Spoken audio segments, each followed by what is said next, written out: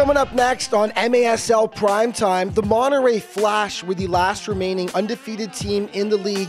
Could they continue their torrid start to the season? It was an emotional game for Freddie Moojen and the Dallas Sidekicks against Tacoma as the team rallied around its leader. And the voice of the Sidekicks, Matt Thornton, joins me via Skype to talk about the start the team has had to the season and its rivalry with its new Dallas neighbors. All coming up next on MASL Primetime.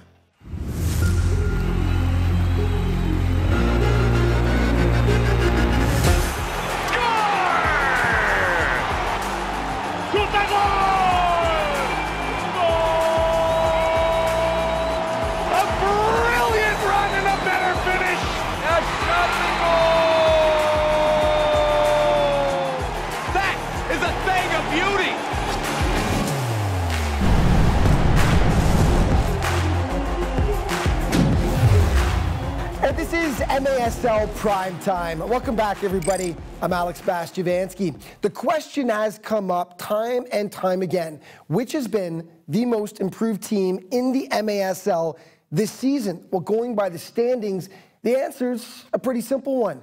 Last season, Turlock won just three of 24 contests they played, finishing last in the old Pacific Division. Well, this year, it's been a whole different story. Heading into week seven of play, the Express had already equaled their entire win total from last season, sporting a 3 and 3 record. Now, they had a chance to move above the 500 mark last Monday, but it wouldn't be easy as they were in Mexico taking on the league's last remaining undefeated team, the Monterrey Flash. Highlights in this segment are brought to you by Mitre Soccer. Mitre is the official soccer ball of the MASL. Monterrey was a perfect 7 0 heading into the contest, and they struck first. Estrellita a la ofensiva. Ahí hacen el cambio. Sale. ¡Y el disparo! ¡Gol! ¡Gol! Hugo Puentes, the opening strike for the Flash. Turlock evens it up, though. Uh, Joaquin Rea playing the bank off the boards, and it's 2 1, all Monterrey from that point on, though. Omar Santillan with the fancy footwork rings it off the post, but Victor Quiros there to slam home the offering. 2 1 flash. Skip ahead to the fourth now. Monterrey up 4 1. Uh, nice passing. Eric Rosas punches it in to make it a four goal lead. Uh, down 6 2. Cal draws to within three. Luis Brambilla tips it home. Uh, that's as close as Cal would get, though, as the Flash stay perfect they win 6 3. Dallas hosting Tacoma in an emotional game, and we'll get to why in just a moment. The sidekicks draw first blood. Arthur Evo collects and smacks it past Danny Waltman to make it one zip for Big D. Just a minute 10 later, Philip D'Souza going hard to the net. It pays off. Dallas up by two goals. Back to Arthur Evo on the break. Great ball control. Dances past Waltman. Dallas leading 3 zip after 15 minutes. Second quarter, Tacoma wakes up. Michael Ramos, one of the goals of the week, starts it at midfield. Deposits past Juan Gamboa. Uh, 15 seconds later, Ramos again, top shelf to make it 3 2. Now, we mentioned this was an emotional game for Dallas. Here's why. The day before the contest, the father of sidekicks forward Freddie Moojen passed away in Brazil. John was just 66 years of age. Freddie, though, came out and played the next day, and the team rallied around him. And how about this? Freddie gets what turns out to be the game winner for Dallas right there. He dedicated the contest to his father, who was his biggest fan. And it was an emotional moment for this guy who's been such an instrumental leader for the sidekicks this year. Moojen showing the heart of a lion. Absolutely gutted but it means everything when you've got your guys there to support you. The sidekicks pick up an important win, but on this day, winning understandably was secondary on the mind of this tight knit group. Okay, the KC Comets hosting the Milwaukee Wave, over 5,000 on hand in KC.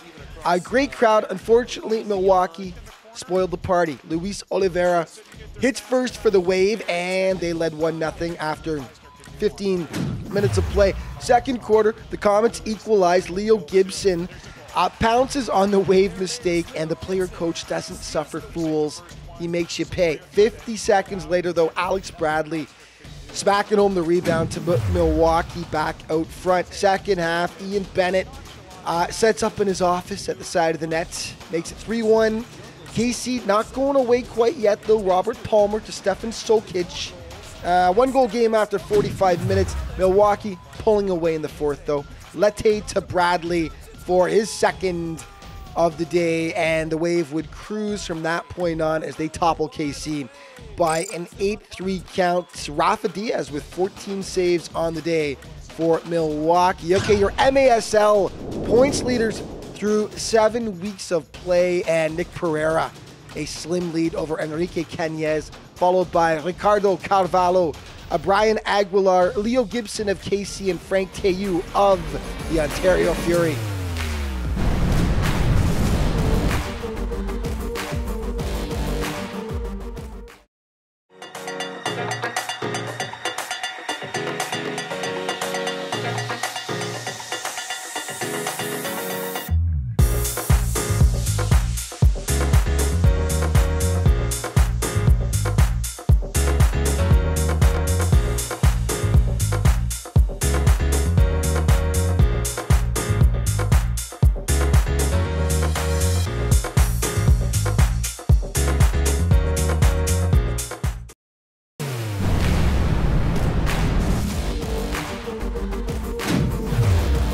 Welcome back to MASL Primetime. Last week we had Baltimore Blast superstar Vinny Dantas on the show to talk about his team's performance so far this season. The Blast were coming off a weekend in which they'd won both their games, including a huge overtime triumph over powerful Utica City. So, after an uncharacteristically slow start to the year, Baltimore appeared to be back on track. They faced another massive test, though, last Saturday as they hosted the Florida Tropics, who had lost just a single match up to that point. People thought Florida would be good this year, but I don't think anyone expected this level of excellence. Baltimore hitting first, though. A sweet passing between Jamie Thomas and Mohamed Ndiaye and Mohamed. The finish, one zip blast. The Tropics respond. Hugo Silva, great toss to Zach Reggett. And it's a Zach attack. He knocks it up at one apiece. Back and forth they go. Daniel Peruzzi, that will be on our primetime plays of the week. The Screamer to make it 2 1. They'd make it 3. Vinny Dantas, of course, adding to the Dantas dynasty. 3 1 Baltimore after 15 minutes. Hold on though.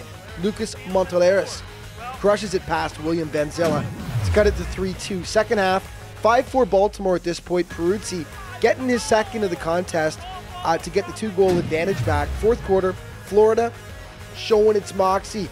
Down 6 5. Reggett gets his brace and sends it to overtime where Victor Pereira feeds Ricardo Carvalho on the doorstep. Florida continues to be dominant through seven weeks of play. They dropped the blast for the second time this season.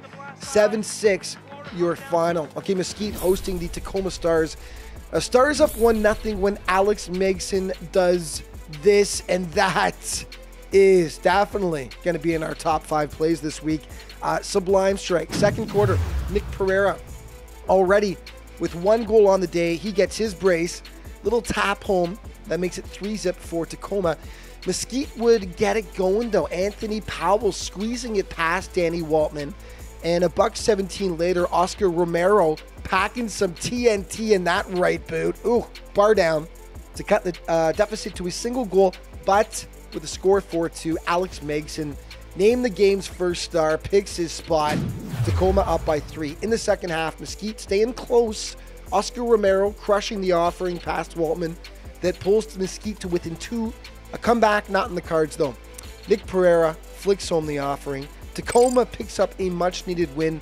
They've gotten off to a slow start this year. That's just their third win of the campaign. Rochester yet to win uh, in their expansion campaign, but for a while it looked possible. Uh, not exactly their best start though. 45 seconds in, Dylan Hundelt makes it 1 0 for Harrisburg. Gary Boughton responds with a beaut though, bending it past Jesus Molina and the Lancers tie it up. Two minutes later, it's Hundelt getting his second of the contest, though, and that makes it 2 1 for the Heat. And then Tom Mellor ripping the offering past Wilkin. 3 1 Heat, and that lasted into the third quarter. Uh, Daniel Villella outraces a couple of Lancers and makes it a three goal bulge, but that's when Rochester gets it going. Michael Cunningham smashing it past Molina to make it 4 2. Uh, and yeah, they rightfully celebrate. And then a buck 35 later, Daniel Reger steals and hits Peter DiLorenzo. Rochester within a goal. They can taste it. Unfortunately for them, Harrisburg pulls away in the end. Francis with the tally, 7 3 final. Rochester still winless, but Tim Crawford knows the team needs to just keep at it, and those wins will come. We had times, it's just like every game. There's times when we're when we're there, and there's times when we switch off. But I mean, this being our closest game, we thought it was going to be a lot closer. We felt like it was a lot closer than it was. We just try to grind it out and work hard every game, but you know sometimes you don't get the results you want, and it's just it's down to us to make it happen. Okay, Sonora back at home on that gorgeous red turf, hosting St. Louis. Uh, free kick. There's a hole in that there wall. Adrian Miller exploits it. One nothing. Second quarter, with the score tied 2-2. Dudica Carvalho making it 3-2 for the ambush, but the wheels fell off for St. Louis after that. Efrain Martinez uh, the goal and then jumps for joy after tying it up 3 3. Enrique Canez had a ridiculous game for the Soles. Uh, watch as he gets tippy with it at the side of the net, the flex at home to make it 5 3 Suns. And in the fourth quarter, with Sonora up 9 5, Canez uh, bringing the magic, putting the Soles up by five, and then the absolute beauty. Enrique skying for the strike. Sonora had a ton to dance about on this day. St. Louis came into this game playing extremely well, but back to the drawing board after getting spanked 12 7 south of the border. Okay, let's take a look at your MASL goal scoring leaders after seven weeks of play. Frank Tayou continuing to lead the way with 16, but uh, Brian Aguilar and Enrique Canez have closed that gap. They're tied in second with 15, uh, followed by Dom Francis and Ian Bennett and Vinny Dantas tied with 13 goals apiece through seven weeks.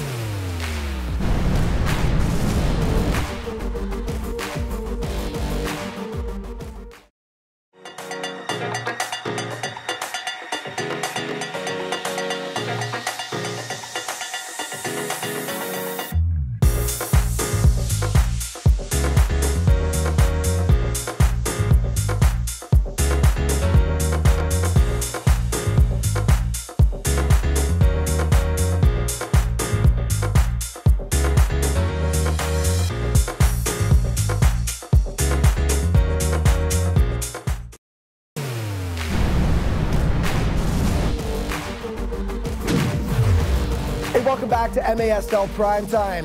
The Dallas Sidekicks uh, haven't had the greatest start to their season, although there have been a lot of positives still to draw on. Uh, and here we're going to talk about today with the voice of the Dallas Sidekicks, also actually the voice of the Mesquite Outlaws. But for today's purposes, we're talking Sidekicks. Matt Thornton. Uh, Matt, welcome to MASL Primetime, my friend. Hey, Alex, man, thanks so much for having me. I love your show, what you're doing, so much fun. Uh, you know, a really great job on MASL Primetime. Everybody's watching it and talking about you. You're the talk of the town. The check's in the mail. Thanks, buddy. I appreciate the nice comments. But also, you know what? Great sidekicks broadcast, by the way. Absolutely love it. TV Thank production, you. you. guys look good. You sound great. Okay, enough of this stuff. Let's get to it, though. Uh, two and seven to start the season. Uh, should be mentioned, of course, big win over Tacoma on Sunday, which was essential for you guys. But let's be honest, it's been a bit of a rough start so far. So just talk about that, uh, the start they've had, and, and how you think they've played so far. You know, this is a team in transition, Alex. It really is. When you look at the Dallas Sidekicks, they have 26 rostered players. 12 of them are rookies. 12 of their six forwards, four of those forwards are rookies. They scored 188 points last season. 118 of those points are now on other teams. Wow. They went out in, in, in free agency. You mentioned the Mesquite Outlaws. Those veteran players moved over to the Outlaws. We'll talk about that, I know, later. Uh, give us some positives, though, from what you've seen so far. What's been working for the sidekicks? Well, I'll tell you, surprisingly enough, their defense has been fantastic. Juan Gamboa, in my opinion, one of the best goalies in the league. Uh, he's uh, right now fifth best save percentage, .710. Defenders Ray Aguayo, he's second in the league. Uh, he's got 15 blocks. And then, of course, Christian Quintana is a defender, has really been transitioning to a fantastic two-way player. They shut down Leo Gibson of the Kansas City Yes. Comets and Nick Perera Yep. as well. Shut him down to only one assist. So you really have to like in their wins, uh, and frequently their defense is doing a very nice job. And when you shut down the reigning MASL MVP, you know when your defense is doing something right. Uh, Freddie Moojen played for Utica City last season where he averaged over a point per game. Great pickup for the sidekicks this year. Uh, tied for the uh, team lead in scoring. And of course, you were mentioning as well before, he's a former Dallas sidekick, so he's come home. Tell us about Freddie's game.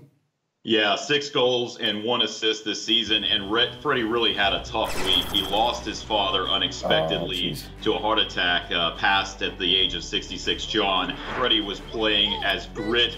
He was a warrior. He went out and played anyways, in spite of the loss of his dad. And the guy has brought this veteran calm to this team, a much needed point target man. He's taken players, these rookies I mentioned, Lipe de Andrade, uh, some of these Brazilian folks. He's taking them under their wings. He was a really, really important addition as a veteran, kind of savvy, calm player, and, and really done a nice job. He's, he's an incredible player on the field, great guy off the field as well. Yeah, he's doing such a great job this year. You are sharing the Dallas market now with the expansion Mesquite Outlaws, who you also broadcast for. Uh, aside for the fact that they've so far beaten the sidekicks all three times they faced each other this year. Uh, I mean, obviously, you must see a lot of positives about this new rivalry, though, and it's spiced things up a bit in Big D on the soccer scene. I, I'm, I'm assuming I could say. Man, it's been fantastic. Are you kidding me? I love this. I mean, personally, I'm biased because I drive my car 30 minutes Exactly. to an, an away game, right, uh, to do the broadcast. But uh, you know, Tatu is the head coach now Yes. of the Mesquite Outlaws, the legend. It's it's weird seeing a guy like Tatu not in a Dallas Sidekicks uniform or shirt, right? So it's very strange. But a lot of the players for the Outlaws are ex Sidekicks players. So people need to realize uh, the top guys, uh, Jamie Lovegrove, Vic Morligwe, Cody Ellis, Mike Jones, they were all playing in Simone Boza's system for the last three seasons. So they know the They know system. it. It's almost unfair to judge the sidekicks based on those three losses because nobody knows that system as well as the Mesquite Outlaws teams uh, do. Yeah, exactly. It's uh, it's an unfair advantage almost, isn't it? But listen, it really is. Like I said, it's it's been a lot of fun to watch you guys. Despite only two wins on the season so far, shutting down that KC team, huge win, big win over Tacoma. I think there are better things in store for Dallas down the road. Thank you for joining us. We are going to have you on again for sure. But thanks oh, so man, much for taking the time today, and happy New Year, my friend. Hey, Happy New Year. Great job again, Alex. Thank you so much. Been an honor. Okay, some highlights before we head to break. Hide your small children. This was frightening. A slaughter in Rochester at the hands of the Florida Tropics. Ricardo Carvalho getting the party started. Out 1 0, up 2 zip. Zach Reggett puts the Tropics up by three scores. On to the second quarter. Reggett with his second of the contest, and that made it 4 0 for the Floridians. The Lancers get one back. Tim Crawford, uh, off some nice passing, he provides the finish to draw Rochester within uh, three. But then it's Carvalho charging hard to the net, roofing it to make it 5 1. We'll spare you the rest of the carnage. Suffice to say, it was a rough day for the Lancers. They go down 17 to 4 to the powerful Tropics. Ouch.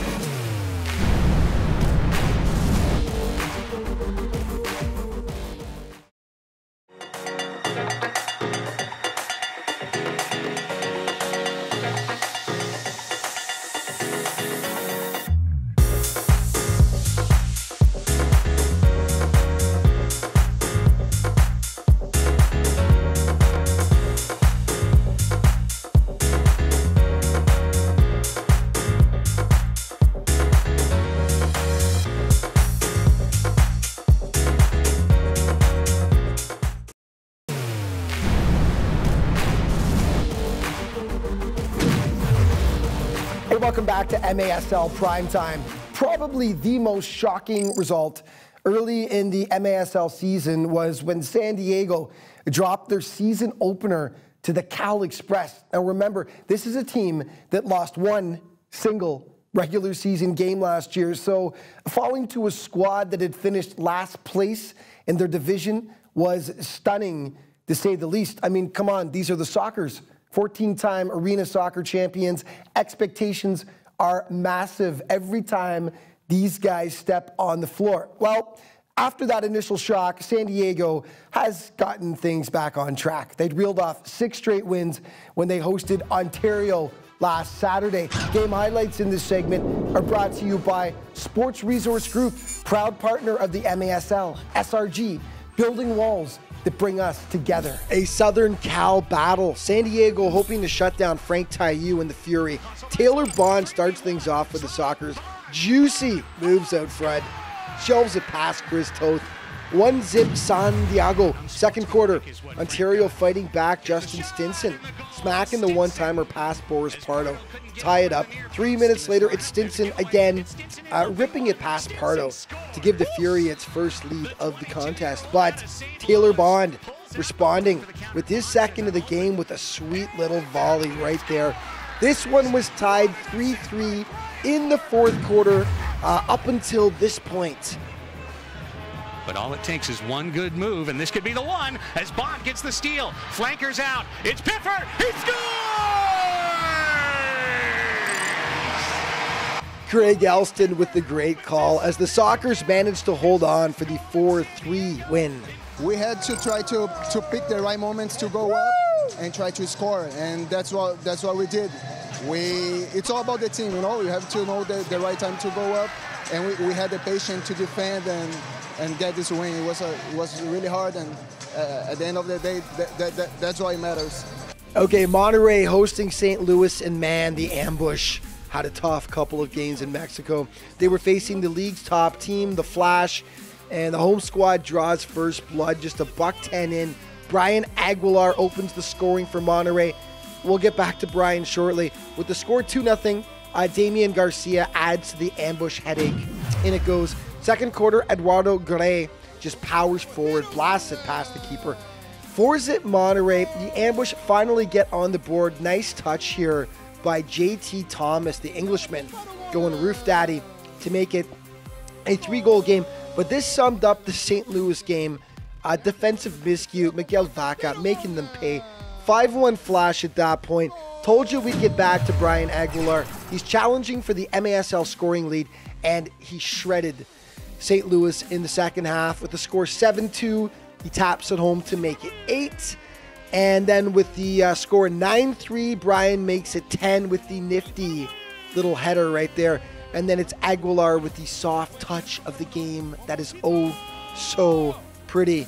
Aguilar with five goals in the game, six points total, as Monterrey continues its torrid start to the season, undefeated through eight games. Okay, let's check out who made the naughty list for this week. Just because Christmas is over doesn't mean the naughty list goes away. Ivan Acuna of Sonora getting a two game suspension for this naughtiness against San Diego back on December 29th. The dangerous check on Brandon Escoto nearly caused a full scale brawl. Two game suspension for Acuna. Okay, the team of the week uh, for week number seven, and uh, it's led by Brian Aguilar.